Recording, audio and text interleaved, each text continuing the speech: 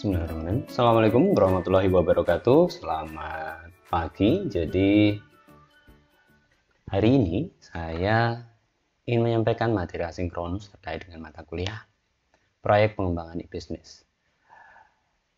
Di kesempatan kemarin eh, di perkuliahan sinkronus telah ada beberapa hal yang kita bicarakan terkait dengan salah satu penugasan di minggu ini yaitu teman-teman diminta untuk membuat gitu ya membuat sebuah portofolio diri terkait dengan usaha yang sedang dilakukan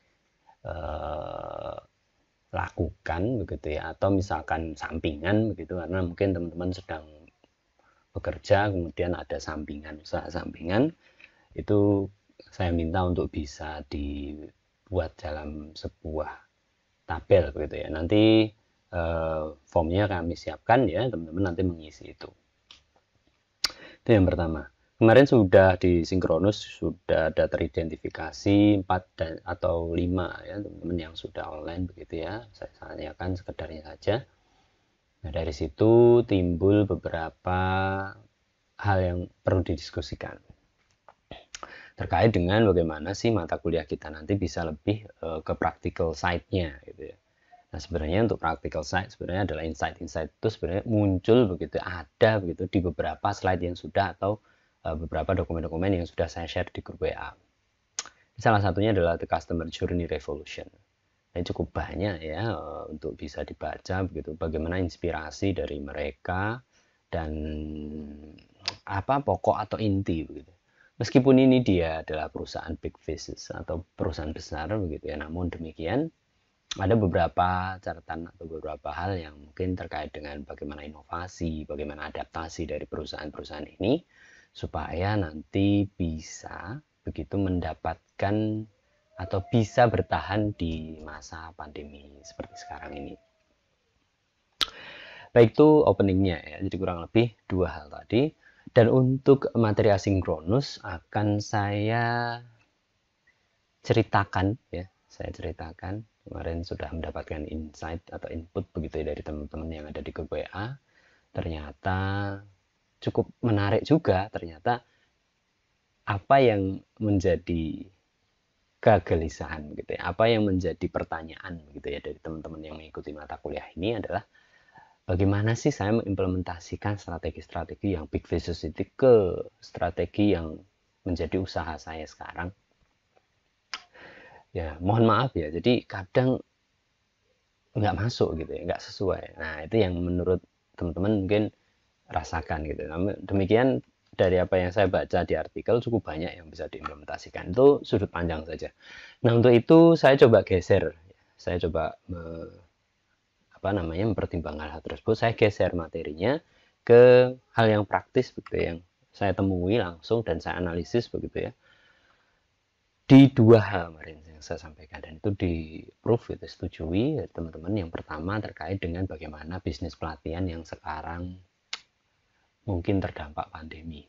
Yang kedua bagaimana sebuah bisnis pelatihan baru ya yang muncul atau lahir dari kondisi pandemi. Jadi dua hal yang berlawanan yang satu biar bertahan yang satu malah strateginya adalah agresif Nah, saya coba cerita sebentar ya terkait dengan industri perhatian. Saya cukup banyak ya eh, apa namanya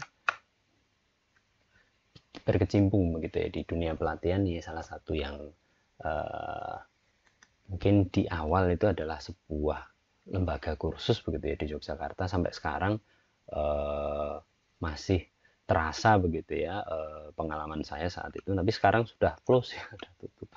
Nah ada beberapa selain saya kerja di sana ada di pilar utama juga ada namanya. Nah di sini dia memiliki ini ya apa memiliki usaha atau bisnis yang terkait dengan pelatihan. Udah uh, mungkin baru saja ya baru-baru saja. Tapi orang-orangnya orang-orang yang kawak ya orang-orang pengalaman yang lama gitu ya di industri ini. Dan selain itu ada namanya Expertindo juga. Nah saya mau cerita strategi yang dilakukan begitu ya oleh lembaga-lembaga training yang awalnya adalah konvensional ini menjadi sebuah industri atau sebuah uh, perusahaan pelatihan yang uh, beradaptasi terkait dengan yang disebut sebagai pandemi itu yang pertama. Yang kedua, nanti akan coba saya munculkan terkait dengan satu lembaga, bukan mungkin uh, ini ya kelompok begitu ya, usaha yang me menyelenggarakan pelatihan secara online, online ya, online only ya, nggak pernah ada uh, luringnya. Dan di sana materinya sendiri full begitu ya full fledged online. Namun ada catatan nanti coba saya ceritakan. Baik tidak berpanjang lebar saya ini ya uh, mulai saja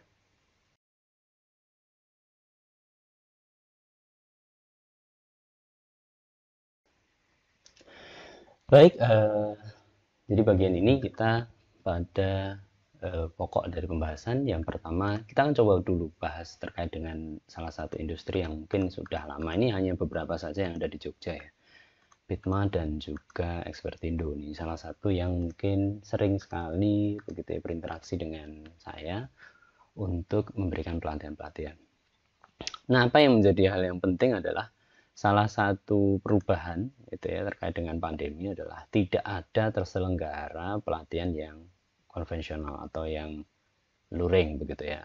Biasanya mereka mengadakan sebuah pelatihan dilaksanakan di sebuah uh, ruang meja di sebuah hotel begitu ya. Kemudian ada instruktur diminta untuk memberikan uh, topik begitu. Dan setelah itu nanti ada proses administrasi yaitu misalnya sertifikasi dan lain sebagainya. Namun demikian karena pandemi terjadi perubahan gitu ya. Perubahannya antara lain cukup banyak ya. Salah satunya adalah kita tidak bisa uh, bermitra lagi dengan hotel. Nah, saat hotel mau diselenggarakan dilarang atau di sana tidak memiliki fasilitas-fasilitas yang mendukung dan aturan pun melarang itu. Kemudian yang terjadi adalah mereka mencoba bertahan, bertahan dengan menawarkan materi pelatihan-pelatihan yang bersifat online gitu ya dengan beberapa penyesuaian. Contohnya tidak full, misalkan dalam satu materi pelatihan bisa dua hari full gitu ya. Namun kalau dalam uh, pelatihan versi online itu hanya mungkin 2 sampai 4 jam gitu ya yang yang yang maksimal ya. Dan biasanya rentang waktunya lebih lama. Jadi misalkan uh, biasanya dua hari ya jadi dua hari tapi hanya dua jam saja misalnya dari jam 8 maaf tiga jam atau dua jam jam 8 jam 9 sampai jam 1 misalnya 4 jam. Kemudian hari berikutnya 4 jam juga. Dan tentunya materinya juga dipadatkan. Nah itu juga termasuk menyesuaikan dari budget dari pelatihan. Jadi harganya yang semula mungkin uh, tinggi harganya jadi lebih murah. Nanti bisa-bisa teman-teman bisa lihat di sana ya. Online berapa dan konvensional dulu berapa nah termasuk juga pilar ya di pilar teknotama ini dia menawarkan ini biasanya jumlahnya banyak misalkan dalam satu kelas 40 ya terakhir saya ngisi pelatihan itu sebanyak itu ya ada kemarin sekitar 15 ada kemarin 40 jadi beda ya mereka ya sebenarnya kalau di expert itu lebih ke BUMN sedang pilar dia lebih ke pemerintah daerah Nah, mereka seperti itu ya. Jadi dampaknya cukup besar juga. Nah, akhirnya apa yang terjadi adalah ya sudah strateginya adalah bertahan.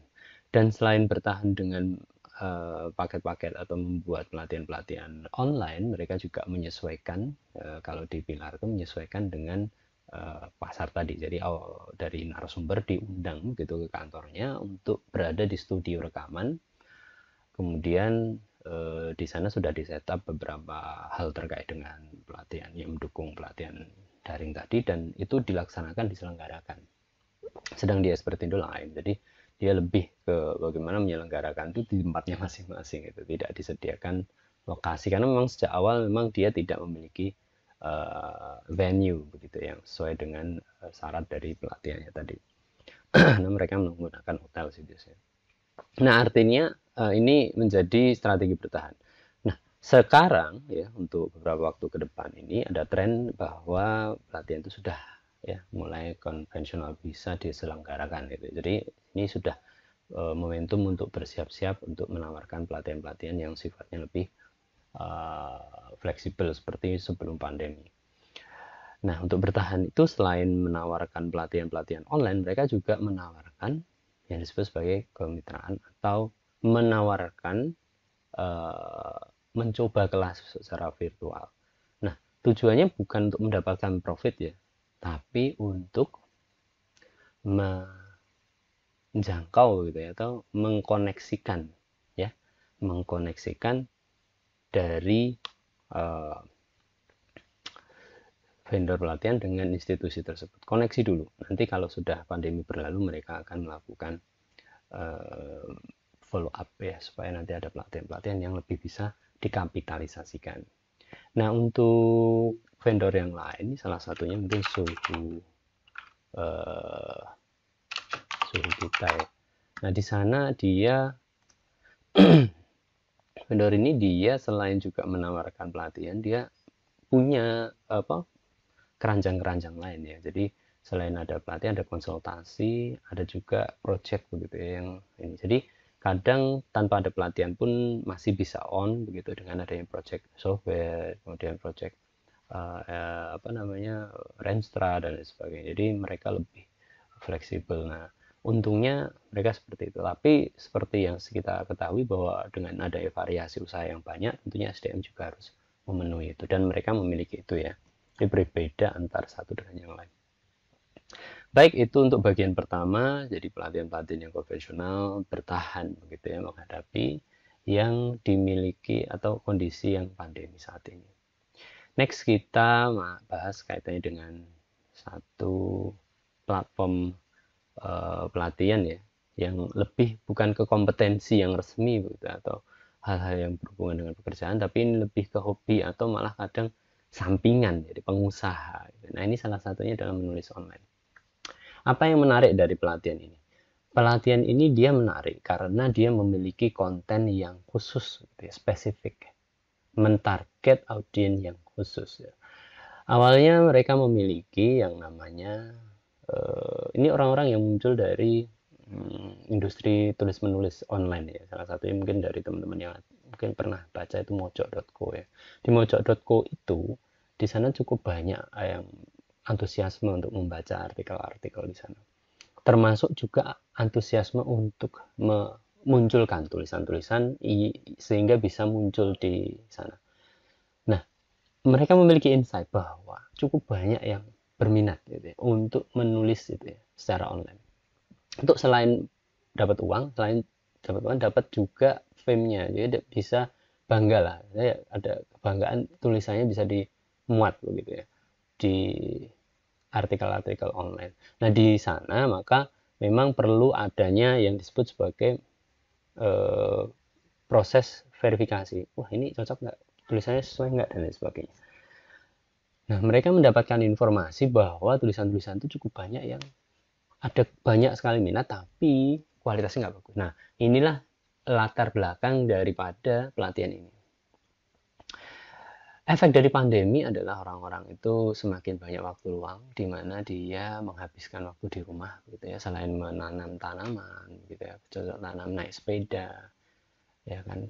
Kemudian eh, browsing di YouTube, Facebook dan sebagainya mereka juga ternyata ingin meningkatkan uh, skillnya. Nah salah satunya adalah skill menulis. Selain menulis ada juga kalau teman-teman bisa search itu adalah tawaran pelatihan online untuk fotografi kamera fotografi uh, mobile smartphone. Kurang lebih hampir sama. Nah yang menarik di sini dia memiliki apa? Dia memiliki satu platform. Platformnya ini sebenarnya adalah platform ini ya platform Maya gitu ya. Nah ini bisa didapatkan kalau kita sudah mendaftar. Fasilitasnya sangat banyak ya untuk ini. Jadi cukup uh, menurut menurut saya ini uh, value-nya tinggi karena dia dari 760.000 jadi 380 itu sudah ngetrik bahwa kita mendapatkan keuntungan. Tapi benar di dalamnya ternyata setelah saya explore lebih lanjut ternyata di dalamnya juga memiliki banyak sekali materi ya, di sana. Nah, ada materi yang asinkronus ya. Asinkronus itu artinya bisa kita akses kapan saja. Gitu ya. Kapan saja kita mau, kita bisa akses itu kemudian kita bisa mengerti bahwa dari materi-materi yang disampaikan itu seperti itu. Ya. Nah, selain itu ada namanya materi sinkronus, di mana sinkronus sendiri itu dibuka tapi hanya teks gitu ya, tekstual. jadi silahkan ini, ini ini ini dibaca dibahas jadi kayak chatting gitu ya chatting dengan narasumber yang ready di sana untuk fokus di waktu yang sudah disediakan itu yang fasilitasnya. Kemudian yang ketiga itu adalah fasilitas uh, kita exercise tulisan kemudian kita kirim ke grup gitu ya. Grupnya menggunakan telegram. Secara umum infrastrukturnya gratisan semua kecuali yang ada di website ini. Dengan adanya hal tersebut gitu ya dengan menggunakan uh, fasilitas atau arsitektur pendukung pelatihan yang murah gitu ya. Nggak ada zoom dia ada zoom murah begitu maka tentunya bisa ditekan ya biasa operasional ya dan itu sangat sangat tinggi begitu ya bisa dikapitalisasikan dalam bentuk ini. Karena apa? Konversi yang dilakukan untuk bisa uh, dari orang yang interestnya nulis pengen menulis dengan lihat uangnya segitu saya rasa cocok gitu. Jadi biasanya orang yang baca dan tulis itu biasanya orang-orang yang memiliki ke, apa ke, kemampuan ekonomi yang agak tinggi saat ketemu dengan harga seperti itu ya itu maka akan rasional menurut mereka. Dan itu pas banget karena waktunya bisa digunakan secara maksimal untuk melakukan pengembangan diri. Jadi kurang lebih itu hal yang sangat cocok. Nah, kalau kita estimasi harganya, kira-kira kalau misalkan tadi dijual dengan harga 380.000 per orang, kalau batch-nya kemarin tempat saya ada 40 ditambah 40 orang sekitar 80 orang, kira-kira dalam satu kali operasional bisa ditemukan angka sekian ya. Ini cukup banyak. Misalkan tadi untuk narsumnya sendiri, Iqbal tadi Mas Iqbal itu, ini sekali lagi nanti saya bahas juga ya, kaitannya kenapa narsumnya dipilih itu. Jadi 30 juta ini bisa secara operasional untuk satu kali batch, satu kali angkatan. Untuk kali angkatan bisa satu bulan lebih, satu bulan atau enam, enam mingguan, enam mingguan. Dan di antara itu di, bisa dimulai batch yang lain ya, selama kapasitas dari narsumnya itu pen, apa bisa memenuhi itu. Jadi kurang lebih ya inilah ya untuk bisa dioperasikan. Omsetnya berapa? Misal ya dalam dua minggu itu bisa satu batch begitu maka dua batch ya kan 60 juta. Infrastrukturnya berapa? Nggak terlalu banyak. Biaya iklan juga nggak terlalu mahal ya. Iklannya lewat Instagram lewat Facebook bahkan lewat juga organik Mas Iqbal juga memunculkan itu. Nah ini lanjut ke staffnya atau yang mengelola. Ini nggak terlalu banyak juga ya. Saya lihat di grup itu dibahas nggak terlalu banyak. Dan setahu saya mereka dioperasikan juga kadang malah mereka nggak saling bertemu gitu. Jadi luar biasa ya ini. Satu satu poin yang menarik begitu untuk dibahas itu nah selanjutnya apa? Selanjutnya terkait dengan materi. Banyak materinya. Kemudian mereka menggunakan platform telegram gitu ya. Awalnya mereka menggunakan platform Instagram untuk jual itu. Yang saya temui ya saya alami ya. Instagram saya klik begitu. Kemudian ada chat uh, WhatsApp. Chat WhatsApp itu kita nanti mengenerate atau menanyakan terkait itu kemudian diarahkan untuk melakukan pembayaran setelah oke okay, diarahkan ke website ini untuk melakukan login kemudian bergabung ke grup Telegram jadi dia menggunakan WhatsAppnya untuk mengarahkan ke grup Telegram. Kenapa? Karena WhatsApp sendiri terbatas ya jumlah dari grupnya, sedang Telegram enggak. Jadi ada namanya mentransisikan dari WhatsApp ke Telegram. Dan di Telegram cukup banyak fasilitasnya ya. Salah satu yang menarik adalah voice note-nya itu bisa diatur kecepatannya. Ada kalau ada konten ya dari Mas Iqbal menanggapi dari tulisan uh, peserta begitu ya. Dia menggunakan itu. Dia nggak menggunakan video sama sekali, tapi menggunakan voice note di mana voice note-nya itu bisa dipercepat dua kali lipat gitu ya jadi lebih menghemat waktu dan mendapatkan konten yang sesuai dia males juga baca mungkin ya kalau kalau responnya ditulis gitu maka akan males juga membaca hasil review dari uh, Mas Iqbal tadi gitu. tapi dengan suaranya tadi lebih personal dan lebih uh, ya puas ya apalagi saat di Eh, sama Mas, Mas Iqbal tadi dipanggil nama dari penulisnya tadi. Halo Mas Ahmad, gitu. wah jadi lebih mengena. Gitu.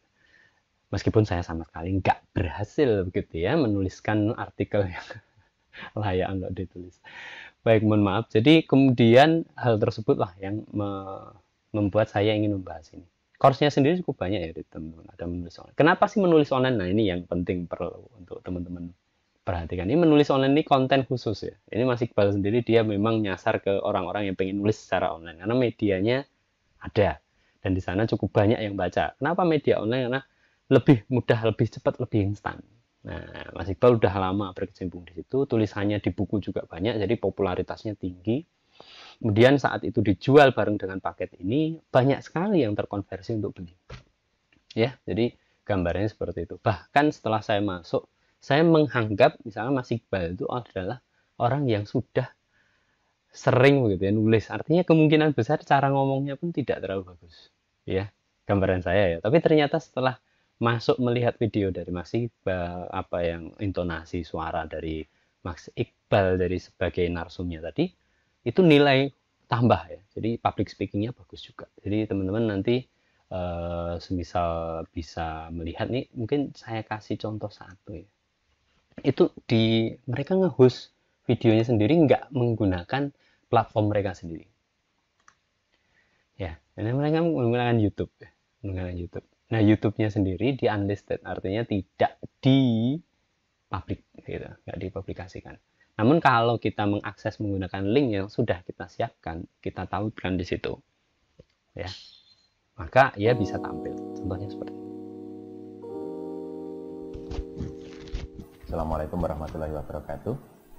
Saya ucapkan selamat bergabung. Terima kasih kepada teman-teman semua yang telah. Itu ya. Jadi hanya sekedar saja ya untuk teman-teman bisa merasakan gitu. Ya. Nah, gitu ya. Jadi mungkin teman-teman bisa mendapatkan ya apa strategi yang dilakukan oleh dua industri pelatihan di mana dua apa dua macam industri pelatihan yang mana satu dia melakukan strategi defensif begitu ya bertahan begitu ya. yang satu lagi agresif karena melihat dari pola konsumen tadi pola customer tadi nah teman-teman mari sudah kita bahas ya terkait dengan itu dan sem semakin kita paham gitu semakin kita jeli gitu, melihat dari Eh, pasar gitu ya. Salah satunya adalah membaca insight atau membaca artikel dan sebagainya. Itu kemungkinan besar kejelian kita akan terlatih. Kalau sudah terlatih tentu itu akan sangat bermanfaat bagi kita yang memiliki keinginan untuk bisa membuat usaha atau memajukan usaha yang sudah kita miliki sebelumnya. Baik mungkin itu saja untuk materi kuliah proyek pengembangan e-business kali ini. Saya ucapkan terima kasih saya ucapkan sekian. Assalamualaikum warahmatullahi wabarakatuh.